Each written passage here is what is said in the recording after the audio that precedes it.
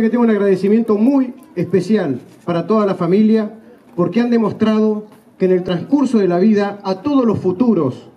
aspirantes agentes y aspirantes oficiales les han inculcado algo que es importantísimo, que son los valores,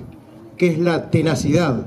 que es que las cosas se consiguen si uno pelea para conseguirlas. No sé si recuerdan que yo fui y les dije que no solamente tenían que superar lo que era este campamento, sino que también